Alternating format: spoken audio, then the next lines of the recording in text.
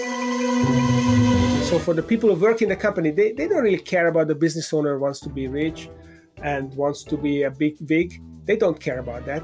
Uh, they they care about other things. So it's a, a purpose. A purpose, exactly. So that's why it's very very powerful if you can come up with a in a purpose. I call it the why. You know, Simon Sinek talks about the why of Apple. Right. The the, the why. The why. Yeah. So we talk we call it the why.